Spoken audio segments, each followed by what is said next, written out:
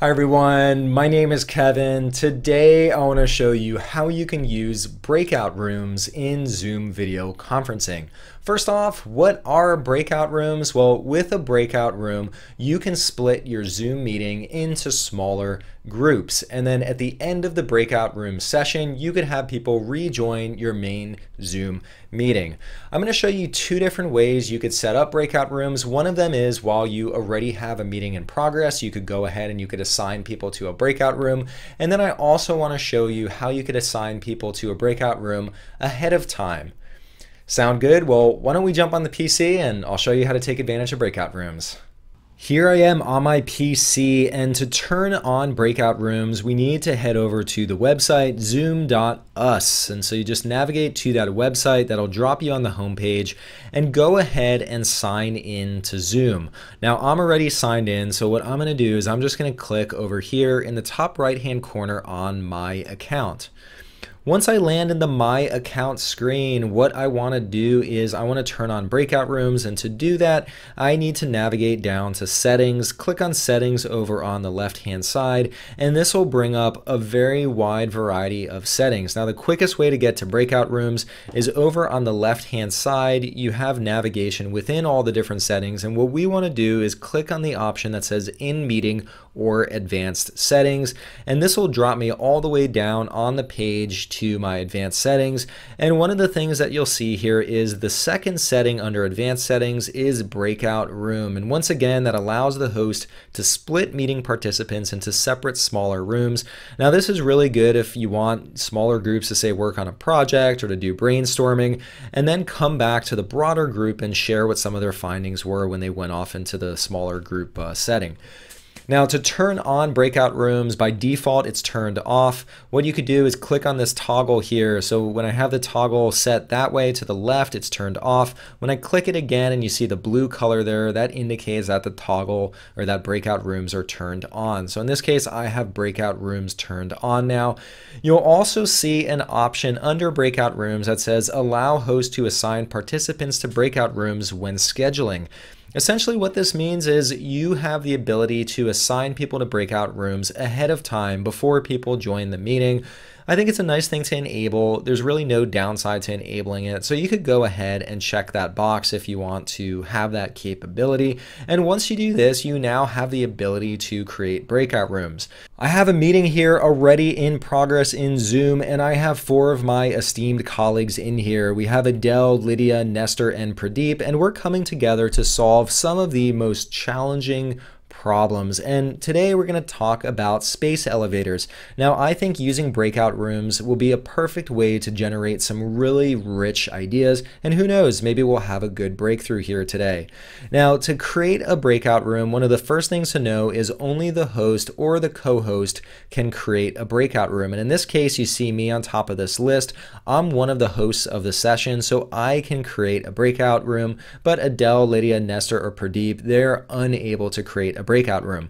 Now to create a breakout room in a meeting that's already in progress, all I need to do is hover over on the screen and I get my control bar that appears down here. And if you've used Zoom a whole bunch, you'll notice now that there's a new option down here called breakout rooms.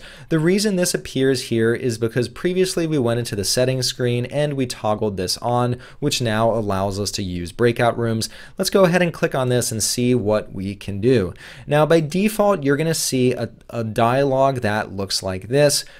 It'll say how many participants you have in the meeting aside from the host. And so there are four participants in this meeting. And then I could say how many rooms I want to create. So I could create anywhere from one room all the way up to 50 rooms. 50 is the max number of rooms that I can create. Uh, in this case, one wouldn't make very much sense because that's the same as the larger room that we're currently in, but here I could define how many rooms I want to create. In this case, I simply want to create two rooms, and it does the math for me where it takes the number of participants, divides the number of rooms, and here it tells me that there will be two participants per room. Now, I have two other options with these radio buttons. I could either automatically assign people to rooms, so Zoom will take care of figuring out who goes in which rooms for me, or I can manually reassign. I'll show what both of those look like. First off, I'm going to click on automatically and then I'll click on recreate rooms. Here you see that Zoom has taken a stab at assigning people to different rooms. So I have Adele and Pradeep in breakout room one, and then I have Liv Lydia and Nestor in breakout room two. Now, if I go back to recreate, I could also click on manual here and then I'll recreate it. And here you'll see that no one's assigned by default and I could click on assign and then I could choose who goes into which room. And so there I've assigned people to each one of the rooms. But if you don't really care who goes into which room, you could just let Zoom do it automatically for you. Now, once you have everyone listed in your breakout rooms, a few of the things that you could do is, you know, maybe you're you're dissatisfied with who's in what room and you want to make some tweaks to it, if you hover over a name, you could also move someone to a different room. So here I could take Adele and I can move her to breakout room 2, and maybe I move Pradeep to breakout room 1. So a quick way where you can move people to different breakout rooms. You can also do an exchange. If I click on exchange, here I could take Nestor and maybe I swap him with Lydia, and that'll just do a swap between those uh, two rooms. So it really gives you lots of control to tweak who belongs in which room. One of the other things I could do is up here, if I hover over the title of the breakout room, I could rename the breakout room. So maybe breakout room one is kind of a generic boring name and I could give it a new name. In this case, I'll just leave it like that for now, but you do have the ability to rename uh, different breakout rooms. Down below, some of the other options that I have, I can add an additional room. Let's say I wanted a third room because maybe, you know, some of the rooms are too full. So I could add an additional room here uh, and then I could assign people to that room. Although in this case, it's a pretty small group, so I don't need a third room and I'll simply go ahead and now delete this room. Some of the options that I have that I want to show here, some of the things that I can do is I can move all participants into breakout rooms automatically. I like that idea. This way, if I kick off the breakout room session, it'll simply move people uh, and they don't have to take any action to end up in the breakout room. One of the things too is I can allow participants to return to the main session at any time. So let's say that they go off and they brainstorm, they come up with some great ideas, but they don't have any more ideas. They could come back to the main session on their own. I could indicate when the breakout room closes. So by default here, it's set to 15 minutes, but however long I want the brainstorming session to go on for, I could customize the time here. Right down here, I could get a notification when the time is up. That's probably good. You know, I'll have people off brainstorming. Maybe I take a little break and I want to be reminded when it's time to resume the activity. And then here, I could also show a countdown after closing the breakout room. And I could set different times on here all the way from 10 seconds to two minutes. I'm going to go with 10 seconds. Basically, what this means is when I close the breakout room, everyone within the breakout rooms will see a countdown timer for when the session officially ends. Those are some of the settings I have. What I want to do now now is let's go ahead and open all the rooms and we'll see everyone leave this main session and join the breakout rooms. One of the things that you'll see on here, these green dots indicate if someone has successfully joined the breakout room. And in this case now, everyone has a green dot and they have all successfully joined the breakout room. I see a timer up here. This is the time I set within the options. And I said these breakout rooms will be a 15 minute session. Once the breakout room is in progress, some of the things I could do, I can still move people if I'd like. Here I could hover over Lydia and I can move her to perhaps breakout room two. And so I can move people around. And as the host, maybe I want to jump in and see how the breakout rooms are progressing. And I can go ahead and join a session. session. So I'm going to go ahead, let's join and see what Lydia and Pradeep are up to. Here I just joined the session and when I click over on participants, I see that I am now in the room with Lydia and Pradeep. So maybe I answer a question, maybe I help them with uh, some uh, blocker that they're encountering. And once I'm done helping them out, what I could do is once again, I could leave the room by clicking on this down here. When I leave the room, I could end meeting for all, leave the meeting, or just leave the breakout room. In this case, I just want to leave the breakout room. So I'll click on that and now it'll return me to the main session. Now that I'm back in the main session, one of the things that you'll see is that there's no other participant here. That's because all of the other participants are now in breakout rooms.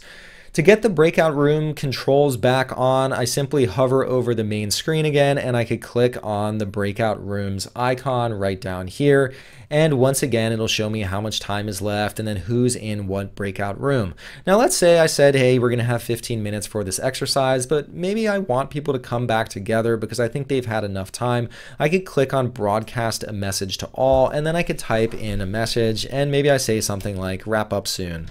Once I type my message, I click on broadcast and this will send it out to all of the individual breakout rooms. So this is my way that I could still communicate with everyone even though I'm not in the individual breakout rooms. And once we're done with the session, I'm gonna go ahead and click on close all rooms and then we'll see everyone rejoin the main session. So one of the things you'll see down here, I set a 10 second timer to give people some notice that their breakout room is closing. And so once that goes down to zero, you're gonna see everyone reappear on our list here. And so slowly everyone makes their way back into the main session.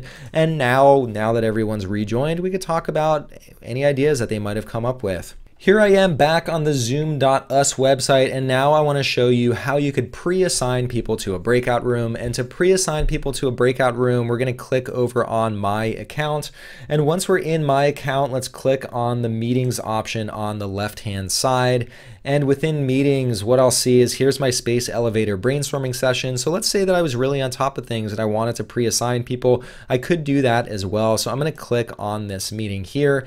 And as I scroll down, I'm going to and edit this meeting. You could also do this when setting up a new meeting. If I scroll down the page, one of the things that you'll see is under meeting options, there's an option that says breakout room pre-assign. Let me go ahead and check this box. And here now I have two different options. I could either create rooms or I could import from CSV. I'll show you how both of these work. So first off, I could click on create rooms and this pops up a dialog where I could both create rooms and then assign participants to those rooms.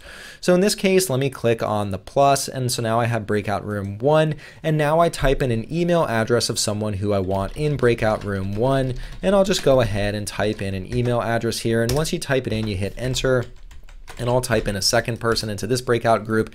And what I could do is I could go down and I could create any number of rooms and I could assign people to those rooms. Now, typing everything in manually could take a bit of time, and to make you more efficient, you might want to have a spreadsheet that already contains all of this information.